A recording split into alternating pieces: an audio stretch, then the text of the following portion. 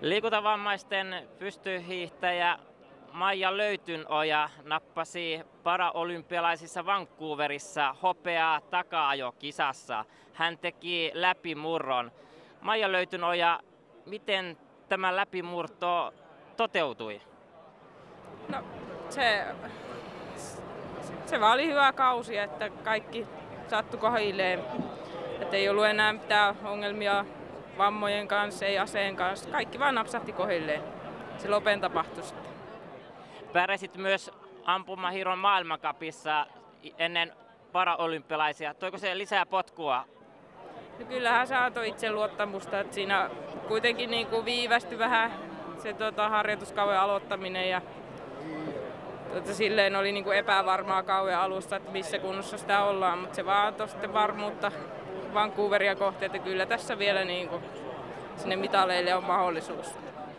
Taka-ajon hopea oli ensimmäinen arvokisan mitallisi. Seuraavat paraolympialaiset ovat Sotsissa. Millä mielin niihin kisoihin?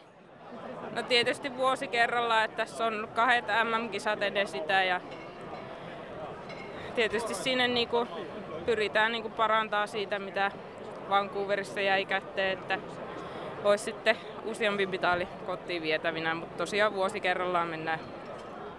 Innostuit urheilusta pikkusiskosi perässä. Mikä, sai, mikä innosti sinut kilpailemaan?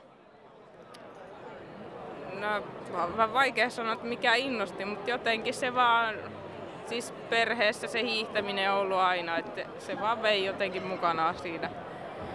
Ja sitten myöhemmin tosiaan ammunta, niin se oli kyllä, siis sen mä tunsin heti, että tämä on mun laji. Oletko kiittänyt pikkusiskoa, että hän innosti sinua? On. Mä muistaakseni muistanut muutaman kerran siitä mainita. Olet sanonut, että kaipaat lisää potkua hiihtovauhtiin. Miten sitä potkua saadaan lisää hiihtovauhtiin? No määrää pitää lisätä, siis harjoittelumäärää yksinkertaisesti, että se on vielä, siinä on vielä paljon tekemistä ja varaa niin kuin kiristää, että sillä, se, sillä mä toivon, että se tulee ja tietysti tekniikka, tekniikan kautta, kun sitä saadaan paremmaksi ja se on nyt mennyt ihan hyvää suuntaan. Niin nykyään treenaat hiihtoa noin 600 tuntia vuorossa. Paljonko sitä voi vielä lisätä? No se on siis tällä hetkellä 600-6500. Tarkkaa tuntimäärää ei pysty vielä tähän, tässä vaiheessa kautta sanomaan. Se on sinne 7500 tuntiin, niin mä uskon, että minä pystyn siihen. Maijo Löytynoja, mikä on suurin unelmasi? Se on se paralympiavoitto.